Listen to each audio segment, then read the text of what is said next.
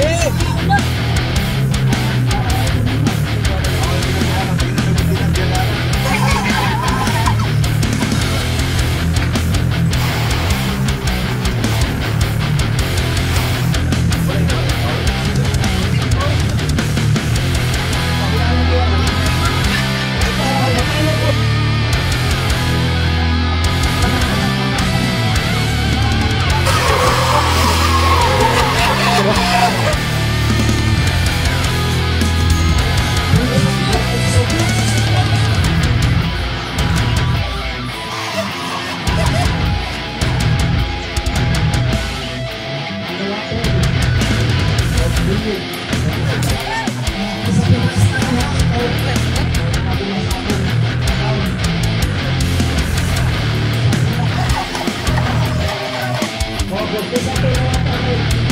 Satu lewat tangan.